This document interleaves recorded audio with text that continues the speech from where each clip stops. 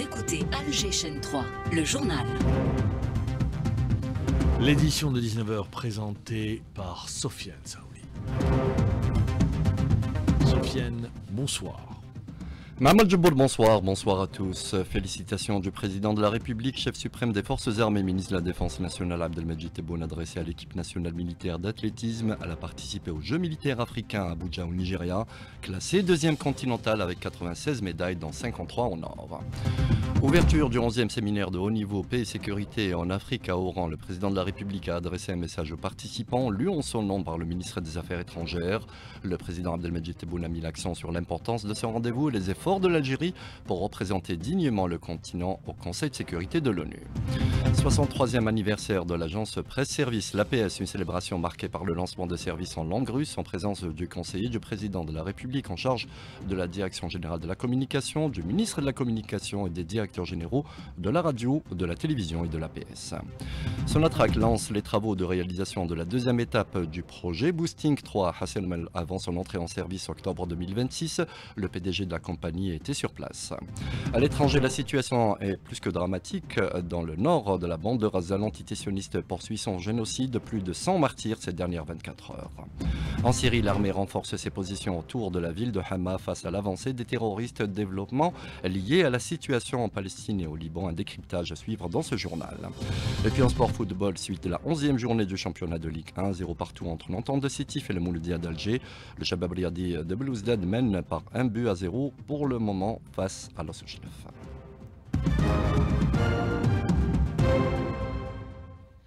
Mesdames, Messieurs, bonsoir. Dans l'actualité de ce dimanche, ce message de félicitations du président de la République, chef suprême des forces armées, ministre de la Défense nationale, Abdelmejid Tebboune, un message adressé à l'équipe nationale militaire d'athlétisme euh, qui a participé aux Jeux militaires africains à Abuja au Nigeria. Des félicitations et une fierté a écrit le président de la République pour leur deuxième euh, place au classement avec 96 médailles, dont 53 en or. Un classement et des résultats qui reflètent le haut niveau et euh, les performances de l'élite militaire sportive algérienne, digne héritière de l'armée de libération nationale. Le ministre délégué auprès du ministre de la Défense nationale, chef, chef d'état-major de l'ANP, le général d'armée a lui aussi félicité la performance des athlètes euh, militaires. Le président de la République, à propos d'Afrique, a adressé aujourd'hui un message aux participants du 11e séminaire Paix et Sécurité en Afrique. Un message lu en son nom par le ministre d'État, ministre des Affaires étrangères Ahmed Attaf. Abdelmejid Tebboune a affirmé que l'Algérie, membre non permanent du Conseil de sécurité des Nations Unies, a veillé à y représenter dignement l'Afrique et ne ménage aucun effort pour renforcer son influence. Elle s'engage d'ailleurs à poursuivre son action, Lias Salrini.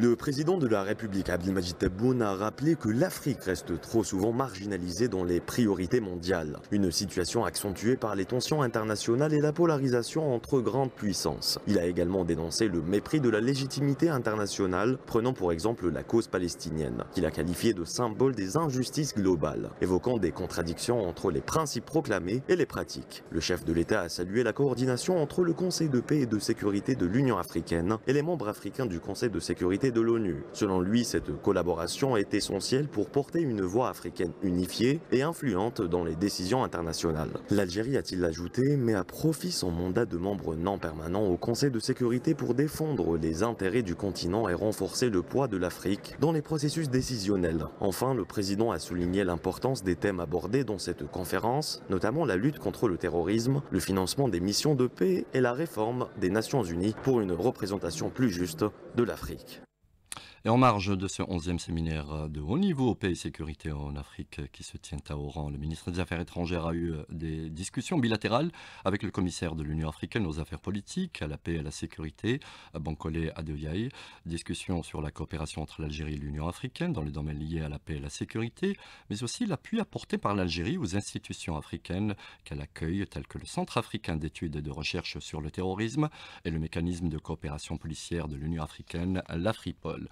Ataf, qui a également eu des entretiens bilatéraux avec ses homologues de Djibouti, d'abord en sa qualité de président du processus d'Oran. Djibouti, qui assure également la présidence du Conseil de paix et de sécurité de l'Union africaine.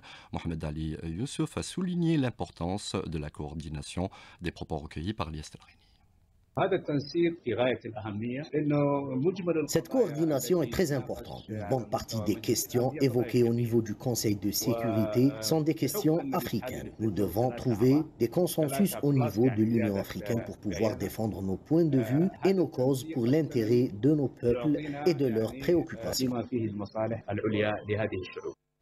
Le ministre des Affaires étrangères Ahmed Attaf qui a tenu également à Oran des entretiens bilatéraux avec le secrétaire exécutif de l'organisation du traité d'interdiction complète des essais nucléaires, Robert Floyd. L'Algérie, vecteur de stabilité sur le continent, notre continent, ses réalisations et projets euh, créent, euh, créent la connexion avec les pays de la région et au-delà, le cas de la transsaharienne et d'autres réseaux routiers reliant l'Algérie à ses voisins africains. Ali Chakaloun, le président de l'association routière algérienne, était l'invité du jour ce dimanche. Il répondait ainsi aux questions de Naliman Nouali. Vous savez que la transsaharienne, pratiquement, on est dans les environs de 9400 km, d'Alger jusqu'à l'Écosse. Mais vous avez aussi donc d'Alger jusqu'à pratiquement Timiaouine, et de Timiaouine, vous passez donc euh, jusqu'à Bamako, en passant par Kao, en passant donc par Kidal.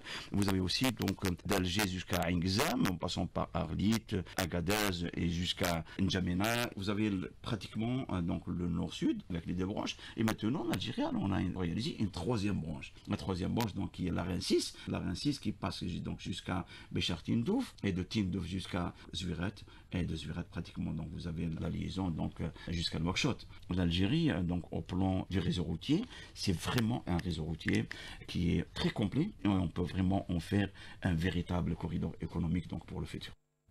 L'Algérie qui représente l'artisanat euh, du continent africain à la 28e édition du Salon international de l'artisanat à Milan, en Italie. Une cérémonie d'honneur à l'ouverture du pavillon Algérie s'est déroulée en présence de la ministre du Tourisme et des métiers de l'artisanat Julia Medahi, et ce en présence également de la ministre italienne du Tourisme et du ministre italien de l'Éducation. Medahi a souligné dans ses propos l'importance de l'action commune entre l'Algérie et l'Italie et la place de l'artisanat algérien en tant qu'ambassadeur des traditions anciennes et du patrimoine authentique de l'Algérie. L'Algérie qui est représentée par un peu plus de 80 artisans. Il y a 63 ans naissait l'agence Presse Service, l'APS, un anniversaire célébré en présence aujourd'hui du ministre de la Communication Mohamed Meziane, du Conseil du Président de la République chargé de la Direction générale de la communication à la présidence de la République Kamel Sidi Saïd et les directeurs généraux de l'APS, de la télévision et de la radio nationale. Une célébration occasion de lancer un service en langue Les efforts de l'APS, ses réalisations et son évolution euh, ont été salués par le ministre de la Communication. On écoute les propos de Mohamed Meziane. Le parcours de 63 ans est un parcours qui reflète clairement les différentes étapes avant-gardistes franchies par l'APS. L'agence a porté l'étendard des préoccupations et des valeurs du peuple algérien pendant la guerre de libération. Il faut mesurer le parcours entre l'agence lancée avec des moyens rudimentaires et l'APS d'aujourd'hui, une agence qui rivalise avec les autres agences internationales. Le conseiller du président de la République chargé de la direction générale de la communication à la présidence, Kamel Sidi Saïd, a lui mis l'accent sur l'impératif ouverture de bureaux de l'APS à l'étranger. Grâce aux efforts déployés ces cinq dernières années, l'agence qui publiait en cinq langues diffuse aujourd'hui en sept langues, ce qui la propulse au rang des agences de niveau international. Concernant l'ouverture des bureaux à l'étranger, eh bien le dossier est ouvert. Il faut dire qu'il n'est plus possible aujourd'hui que l'agence algérienne de presse reste absente de la scène médiatique internationale, surtout dans ce contexte où l'Algérie est la cible d'une véritable guerre médiatique.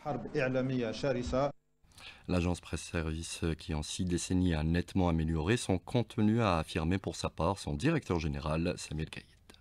Nous célébrons le 63e anniversaire de la création de l'agence de presse algérienne au moment où l'APS franchit des pas de géant dans tous les domaines de sa spécialité, notamment en matière de l'amélioration de son contenu. Tous les cadres, toutes les compétences et toutes les énergies de l'agence ont conjugué leurs efforts pour que son travail soit en totale adéquation avec les intérêts suprêmes du pays. Le président du Conseil de la Nation, Salah Goudjil, a lui aussi tenu à adresser ses félicitations au directeur général de l'agence Presse Service à l'occasion du 63e anniversaire de sa création. Politique nationale de stockage de céréales de ministres se sont réunis aujourd'hui. Il s'agit des tenants de l'agriculture et de l'industrie en présence des chefs d'entreprise concernés par ces réalisations. Une réunion sanctionnée par un communiqué conjoint où on relève l'impérative accélération de la cadence de parachèvement de ces projets. Un programme spécial qui comprend la réalisation de 350 centres de stockage de proximité et 30 silos à travers le pays. Ces autres sont concernés par le parachèvement de leurs travaux et seront réceptionnés juin 2025. Sonatrach a lancé ce dimanche la réalisation de la deuxième étape du projet Boosting 3 à Hassermel dans la wilaya de la Roite, un projet qui sera euh, reçu euh, l'année 2026, le mois d'octobre précisément, un lancement euh, par le PDG de la Compagnie nationale des hydrocarbures en visite sur le terrain. Les détails avec notre envoyé spécial Samuel. Le président directeur général de Sonatrach a procédé à la visite de plusieurs centres de production de gaz. Il a tout d'abord donné le coup d'envoi pour le lancement des travaux en ce qui concerne le projet Booster, avec trois ultimatums fixés en 2026 et 2027 afin de finaliser ce projet qui revêt une importance stratégique. Il a d'ailleurs insisté sur l'impératif de finaliser les travaux au plus vite dans les meilleurs délais pour assurer la continuité de la production. Rachid Hashishi s'est ensuite déplacé au niveau de plusieurs points à Hassirmel, procédant à l'inauguration de bases de vie, d'administration et autres structures qui favorisent le bon déroulement de la production, de la gestion, de la formation ou de la prise en charge de la ressource humaine. Un pas de plus également pour valoriser les compétences nationales pour la production de l'énergie qui fait partie de la vision entreprise par le groupe Sonatrach qui vise à renforcer la sécurité énergétique du pays et accompagner la transition énergétique. Parlons à présent de start-up et cette domiciliation de cinq entités, remise également d'attestation à cinq micro-entreprises au niveau de l'Université des sciences et de la technologie Ouali Boumdiel d'Alger, une opération dans le cadre du programme présidentiel de création de pas moins de 20 000 start-up d'ici 2029, une opération supervisée par le ministre de l'Enseignement supérieur, Kamel Bidali. Mais ça, Smaïl s'y est rendu. Ces dernières années, les startups, en particulier parmi les jeunes étudiants, ont émergé comme un moteur clé de l'innovation et de l'entrepreneuriat dans l'écosystème national. Kamel Badari, ministre de l'Enseignement supérieur et de la Recherche scientifique. L'université actuellement a pris le chemin d'une troisième mission qui est la création de richesses, la création d'entreprises. On est à la rencontre entre la science et euh, le marché. Les incubateurs sont présents au sein des universités en vue de faciliter la création des micro entreprise L'incubateur Techinov de l'Université des sciences et de la technologie Houari Boumediene, par exemple, a soutenu 124 projets innovants entre 2023 et 2024. Kassouri Sara, directrice de l'incubateur. On va leur offrir un accompagnement, financement, coaching, tout ce qui est formation dans le domaine entrepreneurial. Après avoir eu le label Projet innovant, qui ouvre droit à une domiciliation et une exonération des impôts. Des jeunes étudiants porteurs de projets touchant à différents domaines dans l'agriculture, l'e-santé ou encore la biologie. Emzli Iman, porteuse de projet innovant qui a un appareil diagnostic d'inflammation pulmonaire grâce à l'air expiré. Mikidesh Samira, étudiante dans la faculté chimie. Le projet basé sur la valorisation des déchets et extrait la matière première du collagène. Il est utilisé dans le domaine cosmétique et pharmaceutique. Amarna Nada et Menzo Safinez. C'est un système automatique qui euh, consiste à l'irrigation et la fertilisation. Selon le programme du président Abdelmajid Tebboune, des conditions favorables doivent être mises en place pour soutenir ces jeunes et atteindre l'objectif de 20 000 micro-entreprises d'ici 2029. Kamel Hadji a été installé aujourd'hui en tant que wali de Sidi Blabès par le ministre de l'Intérieur Brahim Malad et c'est en remplacement de Semel Shibani muté au même poste dans la wilaya d'Oran. Le ministre de l'Intérieur qui a insisté dans ses propos lors de l'installation sur l'importance d'informer les citoyens des efforts déployés par les autorités publiques en matière de développement ainsi que les acquis de la wilaya, notamment le projet en cours. Il vise l'approvisionnement de Sidi Blabès en eau potable à partir de la station de dessalement d'eau de mer de Cap Blanc dans la wilaya d'Oran. La flotte de la compagnie nationale Air Algérie se renforce de, de 15 nouveaux appareils. Les premiers seront d'ailleurs réceptionnés dès juin de l'année prochaine. Hamza Ben Hamouda, le PDG d'Air Algérie, en parlait au micro de Soleil Roselaine. Les avions acquis par Air Algérie sont au nombre de 15. Le premier avion arrivera en Algérie en juin 2025 et nous en recevrons 2 à 3 chaque année. Ce programme d'acquisition a été soigneusement étudié par les équipes d'Air Algérie afin qu'il soit intégré et exploité progressivement. Dans l'actualité à l'étranger à Raza, l'entité sioniste va de massacre en massacre dans son entreprise génocidaire. Plus de 100 martyrs en moins de 24 heures dans les raids et bombardements sur notamment le nord de la bande de Raza, objet de blocus et d'opérations d'affamement de la population. Le point de la situation ce soir du journaliste palestinien Ahmad Awad. Il est contacté depuis Raza par Linda les bombardements sionistes ne s'arrêtent pas. Partout, au nord, au sud, les massacres se poursuivent. Le dernier en date, un immeuble de six étages qui a été détruit dans le centre de Raza. Dans le même temps, des drones ciblaient l'hôpital Kamal Adwan, tuant ainsi un médecin. Un journaliste a été également tué pendant la réalisation de son reportage à l'hôpital Al-Mahmadani, au centre de Raza. Rajoutez encore l'assassinat dans un autre bombardement de trois employés humanitaire d'une ONG d'aide alimentaire. Les réfugiés continuent de subir le calvaire dans le froid, la pluie et la faim. Il y a une véritable famine, particulièrement dans le nord de la bande de Raza. Pénurie presque totale du lait infantile, pas de médicaments, pas de nourriture. La situation s'aggrave jour après jour. Et dans ce contexte, le ministère palestinien des Affaires étrangères a vigoureusement condamné les appels de responsables extrémistes de l'entité sioniste à déplacer les Palestiniens de la bande de Gaza dans le cadre de la funeste initiative dénommée Immigration volontaire. En Syrie, l'armée s'est déployée à Hama et dans sa banlieue. Elle a repris le contrôle de plusieurs villages après une offensive de groupes terroristes qui, se sont étendus à la ville d'Alep. Des développements en Syrie qui sont en liaison étroite avec la situation en Palestine et au Liban, des enjeux stratégiques derrière cette situation, comme l'explique l'analyste politique Kamel Benyounes. Et l'on parle à la Slimani. Depuis 1982, la Syrie est considérée comme l'accès principal pour la résistance palestinienne et libanaise. C'est clair que cette fois-ci, on veut affaiblir la présence iranienne en Syrie et réduire cette présence euh, en Irak et les éloigner de la Palestine occupée du Liban. Mais c'est clair que ce qui se passe actuellement est une partie d'un enjeu international. George Bush, euh, père depuis 1991, avait annoncé que les États-Unis vont œuvrer pour créer un nouveau nouvel ordre mondial et un nouvel ordre régional. Sharon Perez avait entamé une guerre en Liban. Netanyahu maintenant annonce que c'est lui le patron de cette idée et que toute la région va changer, qu'il y aura une nouvelle carte régionale et politique, donc un nouveau sex-pico. Mais ces déclarations reflètent des souhaits, pas une réalité. L'influence française continue à diminuer en Afrique et les décisions négatives se suivent pour Paris après l'annonce du Tchad de mettre fin à sa coopération en matière de défense avec la France, ancienne puissance coloniale. Le Sénégal lui emboîte le pas. Son président Bassirou Diomaye a défendu la souveraineté de son pays qui ne s'accommode pas, dit-il, de la présence de bases militaires étrangères.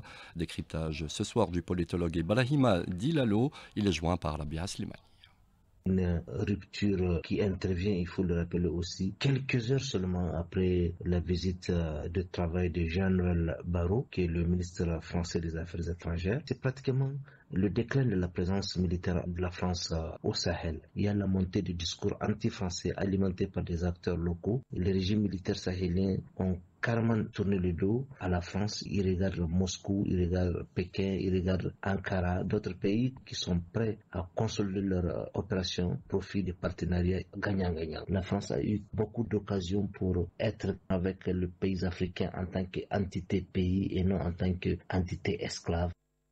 Et puis en ce 1er décembre, le secrétaire général de l'ONU, Antonio Guterres, a affirmé que le combat contre le sida peut être gagné. Il a appelé euh, d'ailleurs à faire tomber les barrières qui empêchent les gens de recevoir des services vitaux.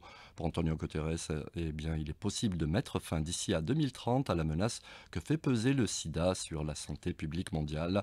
Il s'exprimait ainsi dans un message à l'occasion de la journée mondiale de lutte contre le VIH-sida le 1er décembre de chaque année.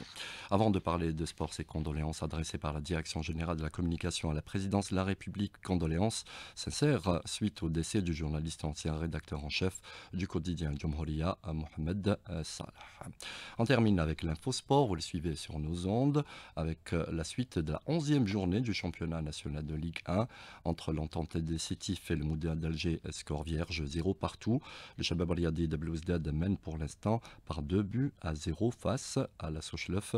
Le direct continue des stades, ça sera juste juste après la météo signée Kalema Mnour, une édition réalisée par Sidali Tobel, Mariam était à la régie d'antenne, à l'achat au streaming vidéo et Sadiq à la technique.